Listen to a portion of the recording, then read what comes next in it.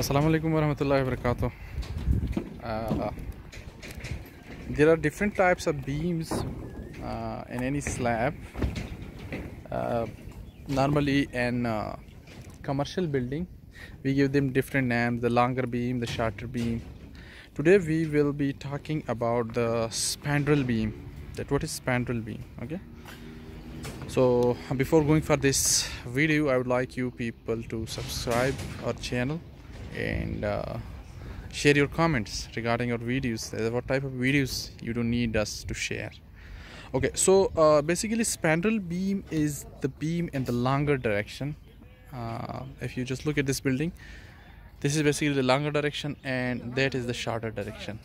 So the beam that will be provided in this longer direction throughout with the same cross section okay the same cross section means here it's steel and section will be same here it's steel and section will be same and there it's steel and section will be same.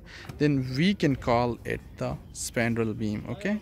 The spandrel beam is normally uh, provided at the periphery of beam or somewhere over the periphery column. So if you just look at this the, these are basically the periphery column the end columns of this beam. That is the shade okay? So uh, you can provide uh, this beam in the longer direction. Or the beam that is provided in the longer direction is actually the spandrel beam